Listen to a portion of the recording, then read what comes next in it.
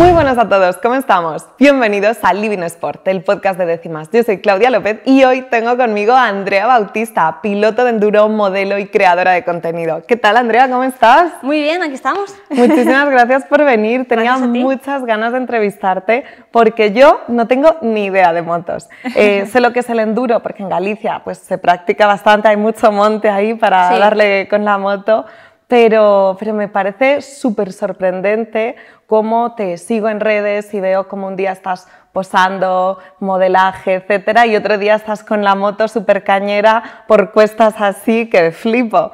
Cuéntame un poco, ¿cómo empezaste? ¿Cómo empecé en, en, enduro? En enduro, pues mira, te cuento, yo con 14 años, pues lo típico, te sacas la licencia, que antes era con 14 años, ahora lo han subido un montón, y pues me regalaron el típico Vespino, y bueno, mi padre ha sido motero toda la vida, y pues yo encantada, con mi Vespino para todos lados. Y llegó un momento que dije a mi padre, se me ha quedado pequeño el Vespino, quiero una moto de marchas, y recuerdo que me dejaron, mi padre me dio una Beta Trueba, una RK6, que, que entonces era una moto genial de marchas. Mucho más potente, ¿no? Sí, bueno, era de 50 igualmente, pero bueno, yo la customicé, la puse rosa, iba al instituto con mi moto grande rosa y todo el mundo como, ay, cómo mola, ¿sabes? Y con 15 años, imagínate ir al instituto con una moto grande rosa. Y poco a poco me, cogí una Aprilia RS, también 125, una Manuel Poyali, que me acordaré de ella toda la vida. Y poco a poco, pues motos un poco más grandes, un poco más grandes, hasta que vi lo que era el enduro. En ese momento ya pues me enganché. ¿Y cómo entrenas para enduro? ¿Cómo es el, eh, no solo enseñar a alguien, sino aprender tú misma? Pues bueno, yo estoy en una escuela, que es la escuela de mi chico, que es Personal Enduro, y bueno, él me enseña todo. Desde la base, sí es cierto que al principio con motos muy grandes, muy altas, tienes que aprender, por ejemplo, a descolgarte, no llegas con los dos pies al suelo, aunque midas 1,90 no llegas. Es como bajarse de un caballo si estás montando a caballo. Claro, claro, lo que pasa es que el caballo se mantiene el pie, la moto no, entonces hay que sujetarla. Entonces hay que aprender a, a sujetarte de ciertas maneras, también estás en laderas, que no te caigas para un lado, para el otro, hay que aprender mucha técnica. Hay mucho equilibrio en ello. Casi todo. De hecho, siempre lo digo, la moto de carretera tiene mil cosas que aprender, pero la de campo tiene 200.000 cosas que aprender. Caray. Y para alguien que no sabe lo que es el enduro, porque igual dices enduro y ves moto, montaña y no sabes si es motocross, si es enduro, ¿cómo lo explicarías? Pues vamos a ver, el enduro, las carreras como tal de enduro son tres cronos y tienes que ir como por pistas a cada una de las cronos. Eso es lo que es la carrera, pero el enduro en sí son ir por el medio del monte, mm, puedes pillar una pista, puedes pillar de repente una piedra, puedes... O sea, Sorteando todo tipo de obstáculos de la naturaleza. Claro, algo así. Luego pues el motocross es un circuito cerrado con saltos, luego está... Pues hay que muchas variedades del off-road. Entonces el enduro para mí es la que más envuelve todo. ¿Y las motos de enduro son diferentes a las motos de motocross? Sí, muy diferentes. Las de enduro eh, son matriculadas, puedes matricularla y salir a carretera. Tienen faro, intermitentes. Bueno, al final yo practico enduro, no tengo intermitentes, los quitas, las matrícula también la quitas, pues al final... Pues, ¿Por qué lo quitas? ¿Para que pese menos? O por... Sí, por no romperlos. Bueno, al ah, hacer enduro, enduro, legalmente hay que ir con todo pero por ejemplo yo en el circuito de persona de enduro lo quito para no romperlo, básicamente, porque estás todo el día en el suelo pero tienen faro, ya te digo, y al final pues, es como más legal. Motocross es circuito cerrado, eh, no tienes ni seguro, tiene que ser todo como más, como si fuera... Un, coche de carreras de circuito, ¿no? Sí, algo así, pero es que no tienen, ni, no tienen ni papel en las motos de motocross. Entonces lo compras y vendes como si compras una planta, o sea, no, no tiene nada legal. Y además del equilibrio, entiendo que hay que tener mucha fuerza para poder manejar la moto, ¿no? Eh, cuando eras más pequeña ¿Tenías motos más pequeñas o son todas del mismo tamaño? Sí, vamos a ver, las motos en sí sí pesan, pero al final es más maña que fuerza. Eh, cuando era más pequeña sí tenía motos, pero eran más pequeñas, como bien dices, o, eran scooters, o bueno, solo tenía un scooter, la verdad, que era el Vespino que te decía. pero sí, eh, la cilindrada va aumentando. O sea, yo tenía pues, primero una 50, luego una 125, vas aumentando en cilindrada y también va aumentando el peso. ¿Cuánto puede pesar una moto como las que usas hoy en día? Pues vamos a ver, la 300 los tiempos que uso son unos ciento poco, ciento y poco kilos. Luego, por ejemplo, también uso alguna vez una trail que son 200 kilos. Caray. depende mucho de lo que quieras ¿Y hacer. te puedo preguntar cuánto pesas tú? 50 kilos. Caray, o sea, no, no, el doble, sino igual el cuádruple de peso. Sí, no, pero que al final no es eso, no es fuerza, es maña. Sí, es, y, y, sobre todo el peso del cuerpo, ¿no? Y todo eso. Claro, es saber cómo, cómo va a reaccionar la moto, hacia dónde va a tirar y tú anticiparte a ello. Vale, qué difícil. Bueno. Y te he visto vídeos como pues con todas las protecciones, todo esto. ¿Qué tienes que llevar, aparte del casco, para hacer enduro? Pues es que tiene de protecciones muchísimas. Infinitas. Infinitas, además todas carísimas. es lo que tiene. Empezamos con las botas, eh, tienes que llevar unas botas específicas de enduro motocross, o sea, esas sí que es verdad que no hay variedad. Luego están las, botas de, las botas de, de trail, de, de, trial, perdona, que sí son de otra manera, pero las de enduro y motocross son las mismas. Suelen... ¿Y la bota es por protección o tiene algún enganche a la moto? No, es por protección. Uh -huh. eh, lo bueno es que, sea, que puedas tener movimiento, ¿vale? porque hay algunas que son rígidas, pero si tiene movimiento mucho mejor. Y también te sujeta, a lo que es la bota, te sujeta a la rodillera también. Ajá. Entonces vas como, desde aquí hasta aquí vas sujeto. Porque es bota y luego encima la rodillera, ¿no? Va primero la rodillera y luego encima Ah, la, bueno. luego el pantalón y luego encima la bota. O sea, lo primero que te pones son unas mallas, ¿vale? Ajá. Luego encima la rodillera, que como son unas rodilleras... Eh, bueno, bueno, que, te, que, te, envuelven de una manera increíble. Justo hoy me han llegado unas pot, que son, que son una pasada, que te envuelve, te sujeta por los dos lados, tienen ligamentos y te sujeta por arriba, por abajo, y entonces no flexa ni hacia arriba así, ni hacia los lados así. Ajá. Entonces, aunque te des un golpe fuerte, Estás lo absorbe. bien protegido. Sí, y luego la bota, tú te pones el pantalón encima y la bota te sujeta todo eso. Entonces, al final, pues también te sujeta. Bueno, yo que nunca he hecho eso, pero voy a hacerlo un día contigo. Sí, me sí. estoy imaginando unas botas de snowboard que ya son como súper incómodas, grandes, sí, tal, es parecido, pero tiene que ser es algo parecido, diferente. es parecido, sí, sí, sí. Yo, bueno, hago esquí muy poquito, pero es algo parecido. Sí. Ajá. Y después de la parte de arriba llevas coderas, ¿qué es lo que...? Vamos a ver, yo sé que habría que llevar un peto integral. Peto integral es eh, pecho, espalda, coderas, hombros. Yo llevo un peto de motocross, que es pecho y espalda. Y Nada se acabó. Más. Y luego habría que llevar un collarín pero para mí es muy incómodo, sobre todo al hacer enduro. Mucha gente me dirá que no, pero es así. Cuando vas de pie, muchas veces vas por una pista, vas Hmm. de pie, tienes que ir con un peso como, como recto y el cuello hacia atrás. Entonces el collarín te limita mucho. Hay veces que, que no das para atrás y, Ah. y, a mí me parece un poco incómodo. ¿Que habría que llevarlo? Sí. Sí, vale. habría que llevarlo. Pero no Niños, llevo... en vuestras sí. casas, collarín. Tanto el collarín como el peto integral habría que llevarlo. Genial, o sea que con toda esta indumentaria, más la moto, más toda la técnica que hay detrás, lo mejor es ir a una escuela que te enseñen o a no ser que tu familia, como es tu caso, pues te enseñe desde pequeña, porque si no es muy difícil de repente querer empezar tú solo y comprarte todo, ¿no? Sí, es que el problema, siempre lo digo en mis redes sociales, que ser autodidacta en esto no es una opción, porque tú puedes venir de la carretera y te piensas que todo lo que estás haciendo en carretera se puede aplicar al campo, y es totalmente al contrario. Ajá. Por ejemplo, en carretera tú te tienes que tumbar con la moto, Sí. en campo es al revés, tú tienes que tumbar la moto y tumbarte hacia el otro lado. Anda. Entonces, a mí me pasa alguna vez que yo llego al circuito con mi moto de carretera y hasta que cambio el chip es como... Tengo Porque que no es instintivo, tienes que justo hacer lo contrario, Claro, ¿no? hay veces que sí, pero si vienes de una ruta de una hora de carretera, es- ¿sabes? Como que el Ya, chip no te ya, ha cambiado ya. todavía. Madre pero mía. sí hay que aprender en una escuela, o sea, es que como todo, todo hay que aprender de alguna manera que te Y enseñen. tienes que quitarte el miedo a caer, porque entiendo que te caes muchas veces y forma parte del proceso, ¿no? Sí, es más que quitarte el miedo, es aprender a caer. Vale. O sea, tienes que saber cómo caer, porque mucha gente frena y directamente va de cabeza, o no- claro, el susto. Claro, es mejor tirarte hacia un lado, quizá Claro, para no hacerte daño. Es ¿no? intentar rodar y todo- sobre todo lo que intentamos sobre, también es eh, aprender a tirar la moto para que no caiga hacia el lado malo. En una trialera que estás subiendo, tú si, por ejemplo, gastas todo el gas que tienes, a lo mejor es una cuesta muy empinada y la moto no va a dar. Pues en el momento que ves que la moto no va a dar del todo, antes de que se gaste todo el gas, por así decirlo, eh, gírate un poquito y cáete hacia el lado bueno, porque si no te vas a ir por atrás. Y ahí es cuando viene todo el impacto y la moto se te puede caer encima.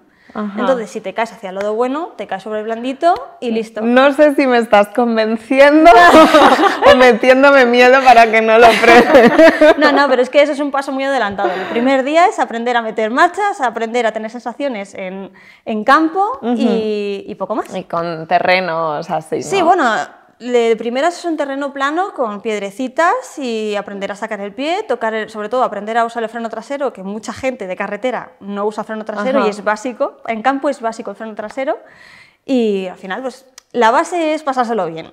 Una vez que pases ese, ese... Que lo disfrutes, pues ya te atreves a estos desafíos, ¿no? Claro, claro. Y tú además de, de entrenar pues enduro directamente, también haces un entrenamiento de fuerza en el gimnasio para fortalecer toda la masa muscular que necesitas luego para esto. Claro, yo, yo voy al gimnasio, sí es verdad que voy una vez a la semana, o sea, no, no, voy mucho, pero me gusta fortalecer un poco pues, lo típico, lo, lo, que más usamos, que son piernas para ir de pie, que vamos muy en tensión, como, como sí. si estuvieras haciendo una sentadilla todo el rato, eh, antebrazos y hombros, que es lo que yo más sufro.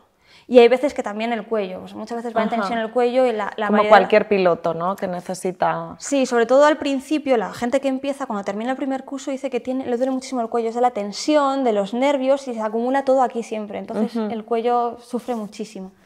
¿Y cuáles son las lesiones más típicas? ¿Qué es lo que tienes que prevenir? Pues vamos a ver, siempre, siempre lo, lo que son las piernas es donde más tienes agujetas mm. y algo que le pasa a los pilotos pro, que a, que a mí no me pasa, ni, pero bueno, los pilotos pro es el síndrome compartimental, que es... Eh, te crece más el músculo, por así decirlo, uh -huh. que lo que tenemos la cavidad de, del brazo. Entonces, lo que hacen es operarles para rajarles o abrirles para dejar hueco a que salga el músculo. Ajá.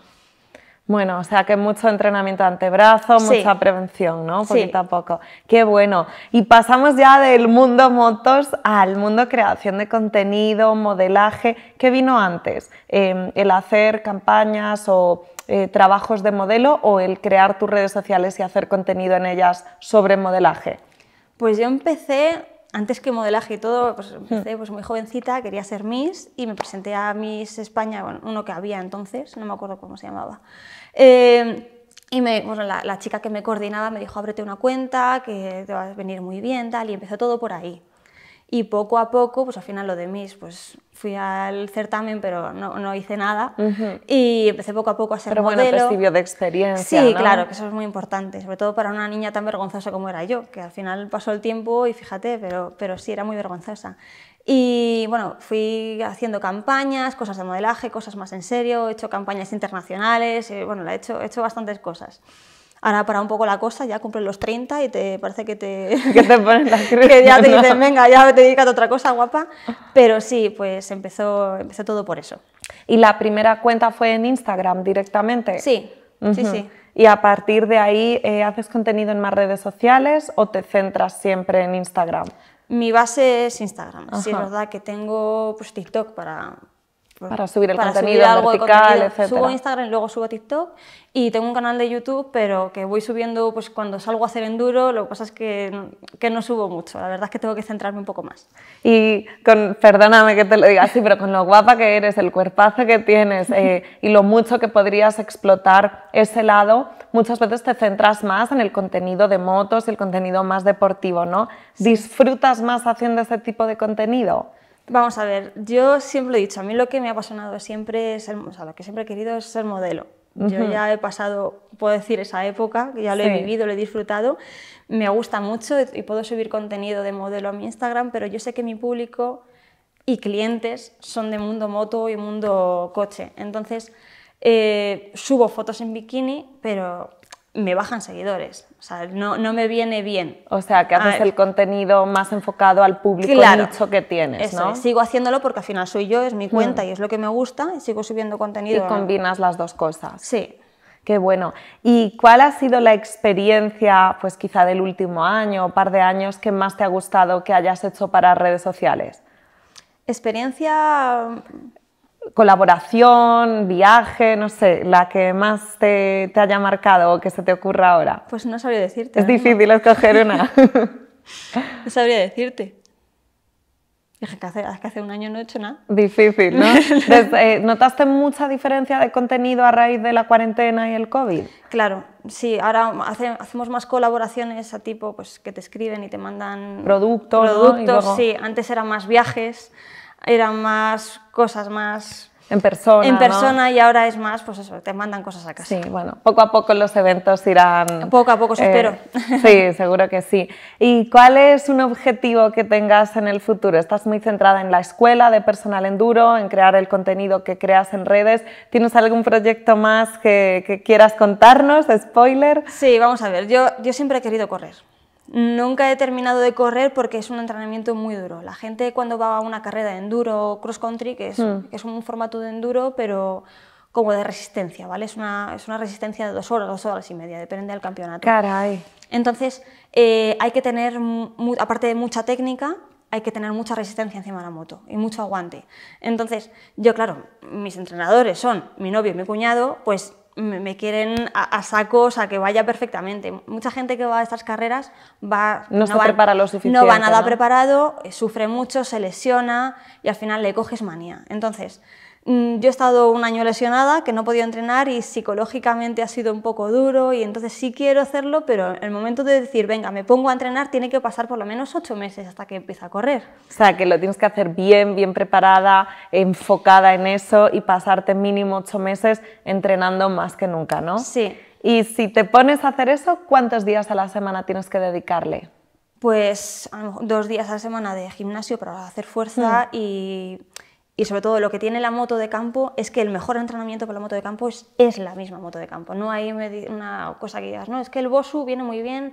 No, No, o tiene sea, que, ser eso. Si pudieses ir eh, cinco días a la semana, sería lo ideal, ¿no? Sí, sí, lo que pasa es que al final pues la moto se rompe, gasolina y al final pues es todo, es, Caray. es algo caro. Y cuando hoy justo estamos aquí en Madrid y después de todo el verano con muchísimo calor ha caído un chaparrón que te mueres.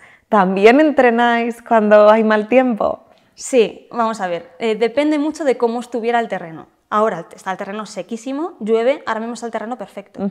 Si ha llovido una semana atrás, ahora llueve, no se puede porque está embarrado. Porque-. Ahora, el mejor momento para entrenar es, a lo mejor, depende de lo seco que estuviera, mañana.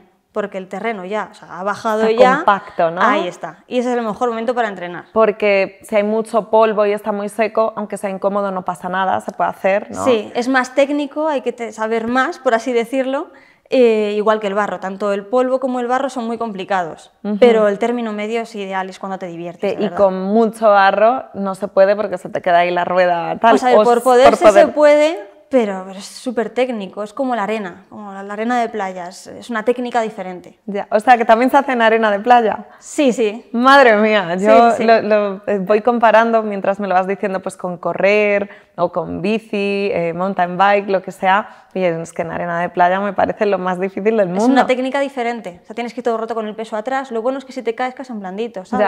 Ya, ya. O sea, que bueno. Yo en la universidad eh, tuve un seminario de rugby y empezamos en la playa, porque mi universidad en Coruña estaba al lado de la playa, antes que en el campo, precisamente porque como ahí hay muchos placajes y caídas para que no te diese Claro. miedo. Y fue la clave, ¿eh? porque si empezas en el campo no creo que me hubiese atrevido. Sí, sí, sí. Pero bueno, pues te voy a llamar y te voy a preguntar según el tiempo para que me digas el mejor día para ir. Perfecto. Andrea, muchísimas gracias por dedicarnos este tiempo hoy, por enseñarnos tanto. He aprendido muchísimo y espero que sigas dándole mucha caña. Vale, muchas gracias a ti y te espero en la escuela. Eso es. Nos vemos en el próximo Living Sport.